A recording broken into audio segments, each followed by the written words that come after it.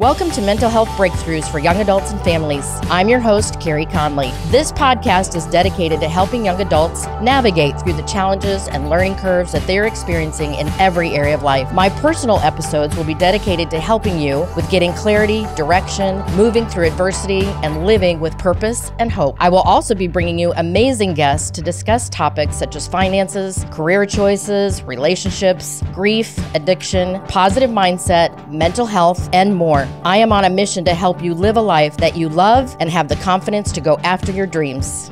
I recently interviewed a young man on my new podcast, Mental Health Breakthroughs for Young Adults and Their Families. And I asked him to talk to me a little bit about his three to five year vision for his life. He's 22, um, obviously going to be 25 in three years. And I wanted to know what he saw his life looking like. And we really kind of started talking a lot about his career path and the industry that he wanted to get into. And, you know, it's a big jump from where he is right now. And I think this is where a lot of people get overwhelmed and they shut down and they don't know where to start. So, the advice that I gave him was number one, to start looking around and asking people that might already be in that industry what advice they would give him where he is right now to start moving in that direction. And I want to encourage you that if that scares you, don't be afraid. These people are, if they're successful, they are so ready to help people. That's why they're there. So, ask five people that might be that person that's already a little bit further ahead in the journey. Second thing I encouraged him to do was to take the big vision and break it down into some baby step goals with some dates on things.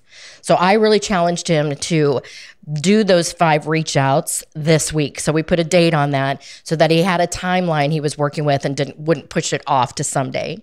And the last thing I encouraged him to do was to share his vision and his goals with the target dates with some people that he really trusted with his vision. People that would believe in him, encourage him on the days he wanted to quit, and might actually be somebody that has a connection for him that he just doesn't know.